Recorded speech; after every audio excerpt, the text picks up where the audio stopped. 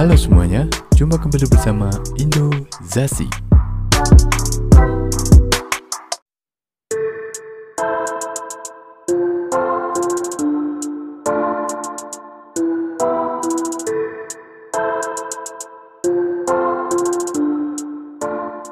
KF-21 Boramai, jet tempur kerjasama Indonesia dengan Korsel, sudah menampakkan diri.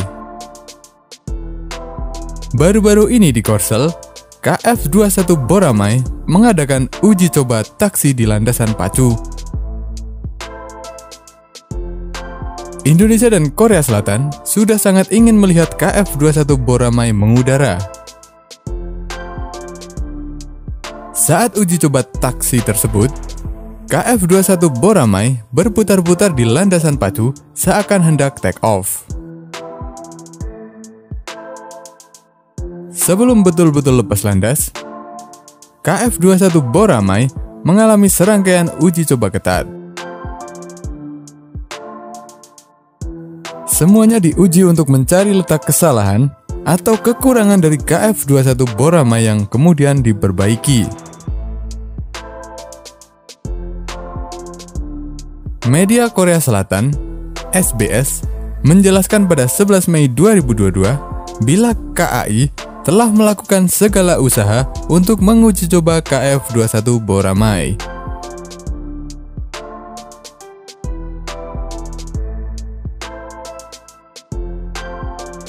Penerbangan pertama yang ditunggu-tunggu akan berlangsung setelah Juli, setelah uji landasan pacu di landasan dan uji kompabilitas elektromagnetik.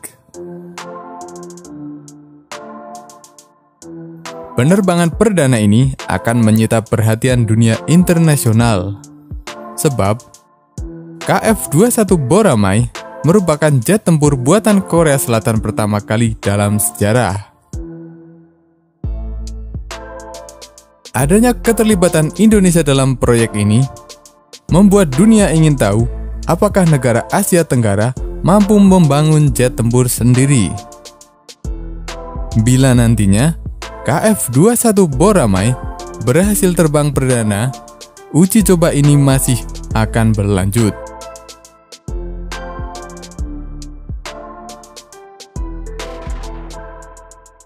KF-21 Boramai harus mendapat 2200 jam terbang supaya bisa masuk lini produksi.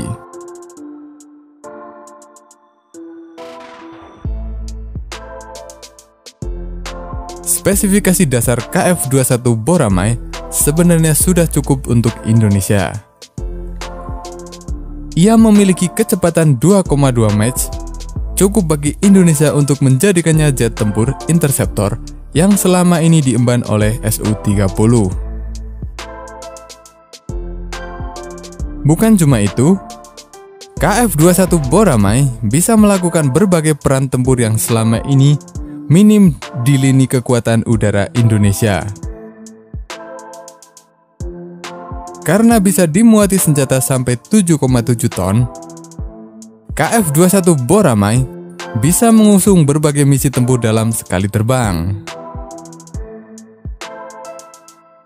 Ia bisa melakukan maritime strike yang selama ini Indonesia lemah dalam hal itu.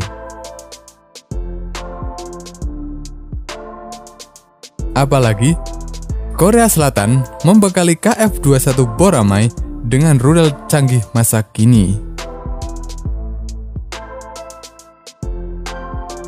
Hampir semua rudal buatan barat bisa diluncurkan dari KF-21 Boramai. Contoh saja, MBDA Meteor yang amat berbahaya itu, KF-21 Boramai telah dipastikan bisa meluncurkan meteor.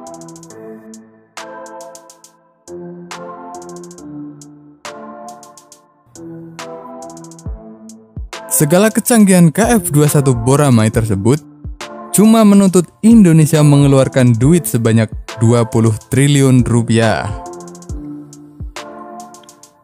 Uang sedemikian itu akan membuat Indonesia mendapatkan 40 unit KF-21 Boramai plus transfer teknologi pembuatan jet tempur.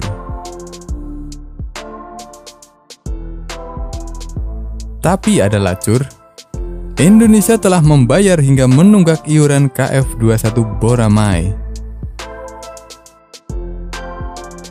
Pada tahun 2017, ia membayar seperempat dari jumlah tahun ini, dan pada tahun 2019 membayar 272,2 miliar won atau sekitar 230 juta dolar sebesar 301 miliar won atau 255 juta dolar masih bukanlah jumlah yang diperlukan.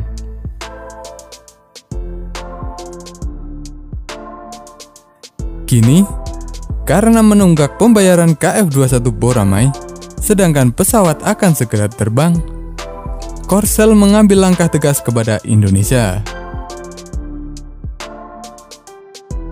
Korea Selatan tak akan memberikan salah satu dari enam prototipe pesawat kepada Indonesia.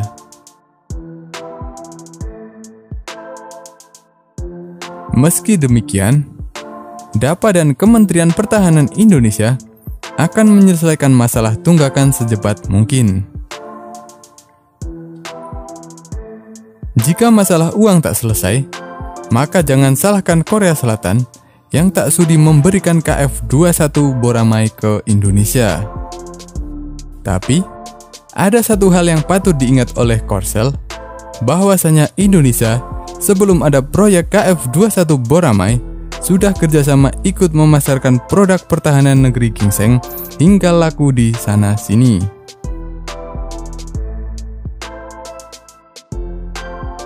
Bila KF-21 Boramai gagal jadi milik Indonesia, lebih besar kemungkinan jet tempur tersebut tak bakal laku dijual di mana pun.